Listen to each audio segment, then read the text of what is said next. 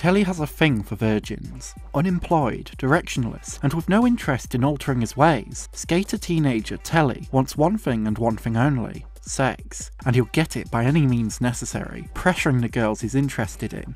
As he plans to take another girl's virginity that very night, Jenny has discovered that she is HIV positive after only having one single sexual experience unprotected sex with Telly. Searching the streets of New York for any trace of the boy who took her virginity, aiming to make him aware of the harm he can cause via unprotected sex, Jenny is working against a tight clock as Telly moves quickly onto his next target like nothing happened. This is Larry Clark's controversial 90s cult classic Kids, an uncompromising, unflinching, and uncomfortable drama portraying a listless young Generation X subculture of skaters with little to no opportunity beyond the present. Kids is a film which illustrates an unsettling reality that many viewers may wish to ignore.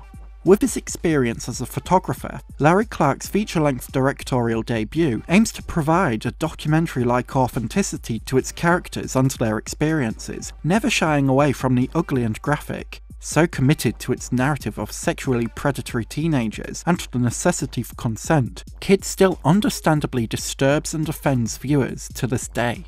One of the significant factors when considering the authenticity of the characters in Kids is that the film was written by a teenage Harmony Korine, based on the people he knew within the skating scene. Roger Ebert elaborates on this within his positive review of the film, stating that the movie's dialogue, which sounds authentic, was written by a 19 year old named Harmony Korine, who lived in the world of skateboarders and suggested the casting of some of his friends to Clark. There are two extended rap sessions, one for the boys, one for the girls, in which they talk about sex, drugs, and their lives. Intent on having his friends cast in the film, Korine clearly knew the lifestyle and people similar to his characters from his own lived experiences.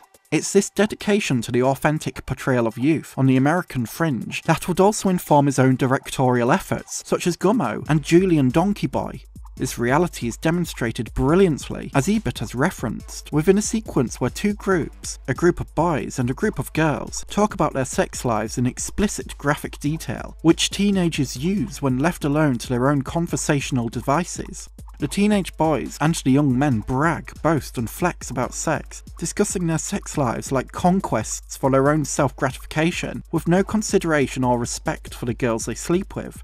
This is contrasted by the girls discussing their own sexual experiences. Their first time's never great, understanding that the boys have taken them for granted, manipulated them to get what they want. There is a clear distinction between sexual positivity, which is present in this discussion when highlighting their positive experiences, and sexual exploitation, where they've been taken advantage of, only to be quickly discarded afterwards. Within Harmony Korine's script, he recognised that this can be a significant difference between boys and girls, especially amongst boys who showcase sexually predatory behaviour from a young age. This is where Telly comes in. Telly specifically preys on virgins, pressuring them into unprotected sex with no consideration for who he has sex with, what they need, want, or worry about. Telly takes, takes, and then takes some more. This is a mindset in which Telly does not view the girls as individuals, but as conquests in a game of sexual addiction. It becomes abundantly clear that Telly has troubling views of women when he tells his friend Casper about wanting to masturbate at the sight of a young woman eating a watermelon. For Telly, his whole identity is sex and where he can get it. This includes the distressing reality that he is sexually addicted and will often disregard other people's boundaries if it means he can get sexual gratification from it. Within Korine's script, the young writer recognised that sexually predatory, opportunistic behaviour stems from a young age, as well as the potential threat of its influence amongst other young people aspiring for the same self gratification that such abusive actions provide. Roger Ebert, in the same review, discussed Telly in detail, his dehumanising language, and the possible reasoning behind his toxic attitudes, stating that Telly's language is like a series of ugly blows. He talks about his enthusiasm for de-virginizing young girls. Casper cheers him on, and it becomes clear that neither one of them has any interests, any curiosity, any values, any frame of reference beyond immediate animal gratification. Kids is the kind of movie that needs to be talked about afterward. It doesn't tell us what it means. Sure, it has a message involving safe sex, but safe sex is not going to civilize these kids, make them into curious, capable citizens. What you realise thinking about Telly is that life has given him nothing that interests him except sex, drugs, and skateboards. His life is a kind of hell, briefly interrupted by orgasms. Most kids are not like losing kids, and never will be, I hope, but some are, and they represent a failure of home, school, and society.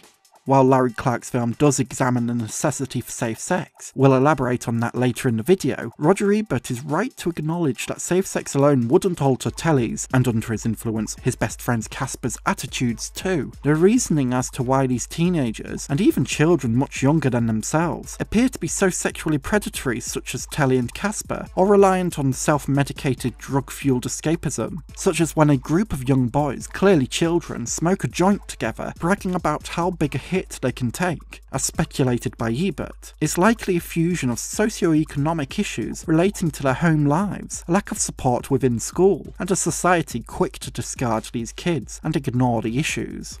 While Larry Clark's film doesn't specifically elaborate on any origins for these characters, we can only speculate what circumstances drove Telly to define himself through sexual activity alone. We can, however, recognise that poverty plays a factor. Telly's mother has no money to spare, and Telly is unemployed. That the kids lack educational support and opportunities and that each youthful generation has its subcultures which face disillusionment and numbing apathy at a world unaccepting and unwilling to support their needs. When faced with a world which rejects them, it makes more sense for these characters to create their own world of instant self gratifications, even if it brings about its own difficulties briefly referenced in his review, Roger Ebert was correct to recognise that safe sex plays a part within Larry Clark's film, he elaborated on it further within this paragraph. A plot emerges involving two of the girls who go for an AIDS test. The result shadows the rest of the movie and gives kids its reason for being. The film is intended as a wake up call, and for some kids, it may be a lifesaver. It is so raw, bleak, and unfiltered, and yet there will be kids who should see this movie, and my hunch is somehow they'll find it. As a wake up call and a destigmatization of young people having sex, Larry Clark's Kids encourages its viewers, no matter their age, to get tested, maybe even tested regularly, if it puts one's mind at ease. In the 90s, the HIV pandemic and the fears surrounding it was continuing, and stigmatization persevered regarding HIV, AIDS, and young people having sex. Larry Clark's persistence to portray this subject matter through Jenny, who discovers she is HIV positive after her first ever sexual experience with Telly, demonstrates that it's the erasure of stigma which will encourage people to get themselves tested or be open about their own HIV status, especially knowing that this can impact anybody. While in the present day HIV isn't the source of fear mongering and concern that it once was, and rightfully so, as HIV and AIDS doesn't make for a death sentence due to the positive progress made in modern medicine. But Larry Clark's focus on Jenny's experience remains important, especially since, as of 2023, the amount of heterosexual HIV diagnoses has overtaken that of gay and bisexual men, it's essential to remember that HIV is still present within the sexual landscape, and while there is treatment and support available, first, people need to be aware of their own sexual health status. Furthermore, another aspect of Clark's film which retains its present day relevancy is its focus on consent. This may be the most distressing aspect of kids, but it's a sobering, essential element of the film that aimed to raise awareness of consent back in the 90s. Clark's film recognises that consent can be withdrawn at any stage in sex. When the girls Telly has sex with begin to cry, begging him to stop, that is a withdrawal of consent. When a girl rejects the advances of an older boy, only to be overwhelmed by him, that is non consensual and with the film's horrific ending, where Casper, attempting to achieve Telly's sexually coercive nature for his own self gratification, disregarding the needs of others, takes sexual advantage of Jenny as she sleeps. We recognise that this is not a healthy example of sex. This is a demonstration of abuse and assault. It's an unflinching scene that's understandably difficult to watch, but the intent is to challenge the viewer into recognising the necessity of consent. This scene is ugly, and this is the impact predatory behaviour has on its victims. Casper does what he does because he aspires to be like Telly, and in regards to how Telly takes advantage of who he has sex with, it wouldn't be beyond his capabilities to abuse somebody like this. If this scene makes you angry, if it upsets you, offends, or distresses you, then it has served its purpose in forcing the audience to recognise why consent is essential. People should not experience this trauma just because selfish idiots want to get their rocks off. People should not experience this trauma full stop. That is ultimately what Kids is about the action of abuse for self gratification of the abuser, and that includes a complete disregard for the individuality of the victim. In recognising how ugly this prospect is, we as the audience come to accept that there must be more efforts in dismantling such abusive attitudes, and those efforts need to start early.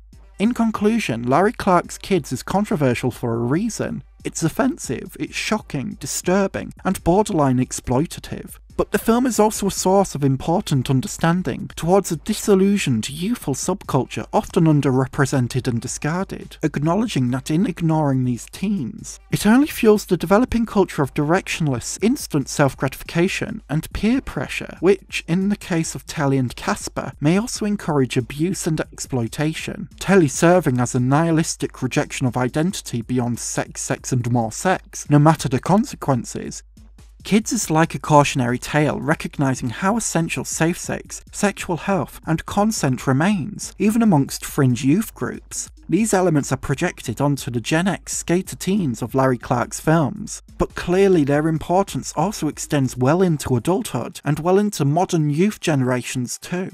If the audience finds this film uncomfortable to watch, then the audience is also recognising the film's core tenets respect, consent, get tested regularly, and how vital it is to be able to recognise an abuser. A special thank you to my incredible tier patron supporter Gil, and my super tier patron supporters Constantine Bombelli, Jamie, and Milkway.